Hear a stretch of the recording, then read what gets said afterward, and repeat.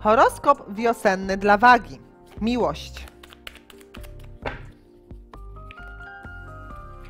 Ach, wagi.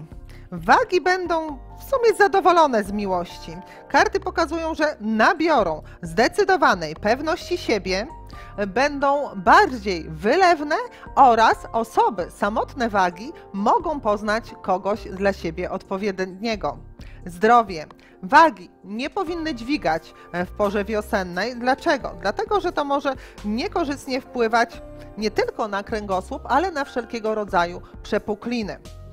Finanse. Pod kątem finansowym e, wagi będą bardzo zadowolone. Szef w końcu ich doceni. Mają również zadowolenie z jakichś dodatkowych premii czy drobnych podwyżek.